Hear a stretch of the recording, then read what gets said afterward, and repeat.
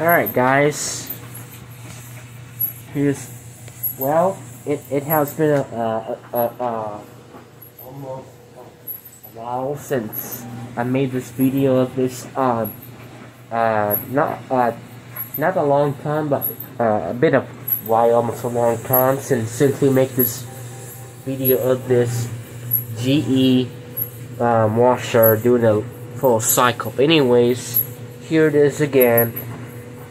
We're washing on heavy soil top coat, wipes off, and treatment.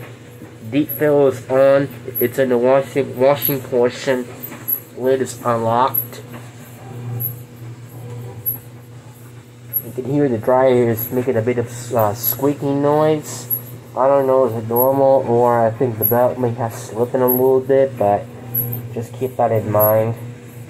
But anyways, here's the video of this General Electric top loading machine with a full cycle.